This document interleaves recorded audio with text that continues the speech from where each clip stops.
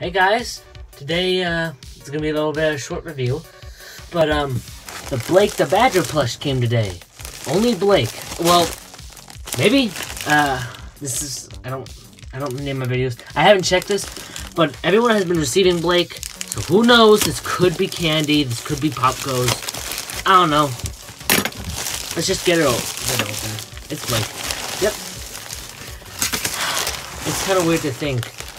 This is the first Fazbear Fanverse plushie. Okay, let's get her open. Alright. Now this is an, an exclusive to GameStop. Well, all of them are. They're all exclusive to GameStop. And um, yeah, here, here is Blake.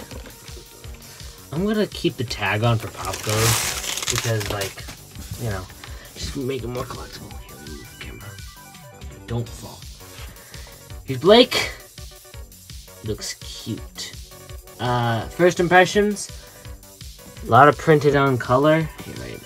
And it looks very, looks very like, look the printing up here. What is that red mark there? See that? All that white stuff all around. And not enough detail on this. Now this is a Blake from the first Popgoes game, not the new one.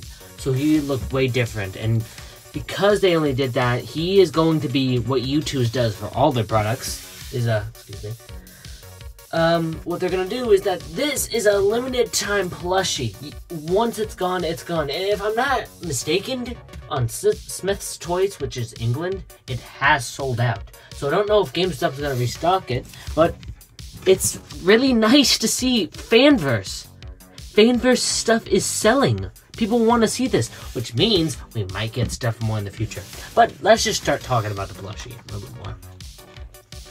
Now, in my opinion, I don't think it has enough detail. Not like the new Be- Blake from the from the new series. Oh, here's the tag. It's the Fanverse tag. It has the logo.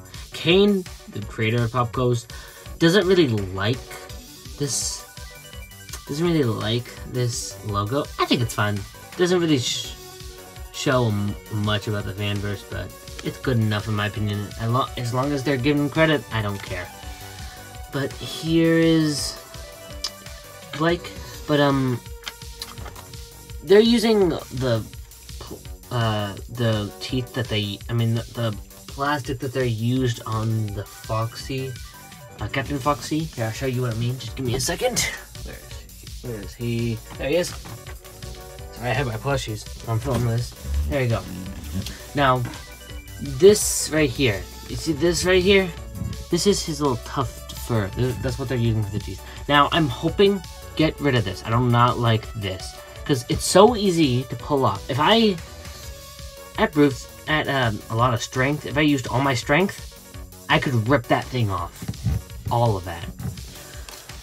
I uh, they're using soft nose, which I think is cool because if not, they would have used like these doggy noses, which don't match the characters at all. The is this printed?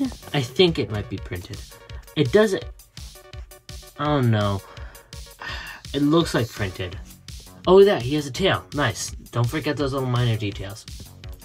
Here's Blake. Uh, oh, they're definitely using, um, definitely using um, printed here, because I hate printed. If people have been watching me for a while, they know I hate printed. Printed color, in my opinion, just isn't good. Don't make because if okay, printed color for me feels weird. Feels like I'm touching a rug. My opinion.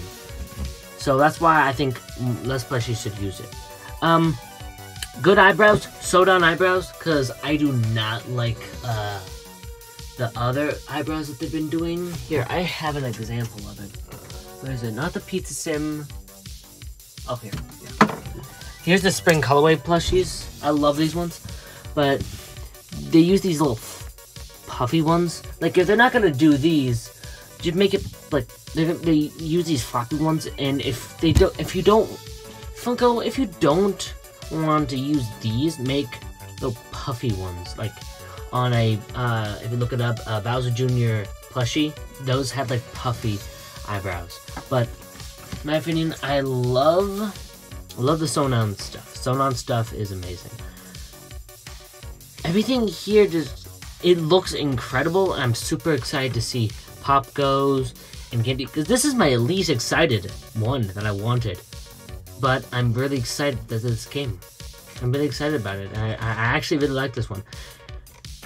I get why they.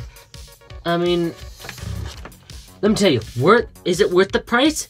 Twelve bucks? Yes, absolutely. Now, if you live in America, these things are still, these things are still online, so you can go buy Blake and Popgoes and Candy. You can buy all of them. But if you're in England, if you're in live in England, I don't know if they have don't know if they have plush. I don't know if they have GameStops in England.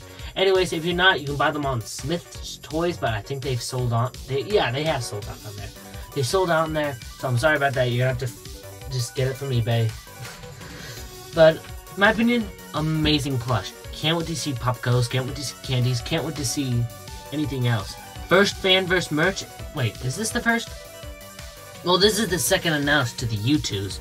But this is the first in-hand stuff that we've been getting for the for the, for the fanverse. First in-hand thing. First impressions, love it. Keep on coming, Funko. This is the best that we've had a while for a plush. Anyways, that's it. I'll be back.